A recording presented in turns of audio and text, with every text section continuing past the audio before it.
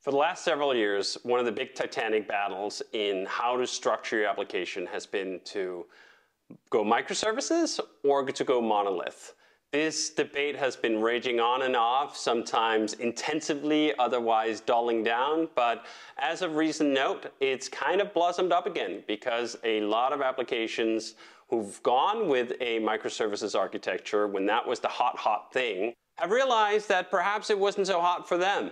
Even the likes of Amazon has backed off on microservices for at least some of their applications. And I think there's a really good reason for that. Microservices is a pattern that is about organizational structure, much more than it is about how to organize your code. If you have incredibly large teams working on single applications and you have to break those up such that the individual teams can own a sub area of it, yeah, microservices can make sense in some cases. But if you're a team of 10, 20, maybe even 50 or 100 developers, going with a monolith is just so much simpler.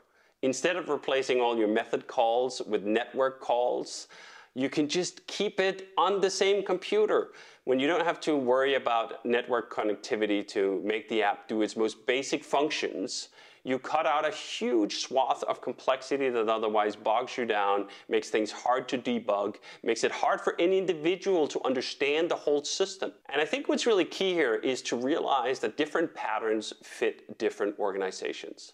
Microservices and that whole approach came out of companies like Netflix with thousands and thousands of developers who needed a different approach to building their systems and making it scale for that level of an organization. If you take those kinds of patterns, the patterns that were built and extracted from companies of thousands of developers, and you apply them to companies of 5, 10, or 100 developers, you very often get really poor results.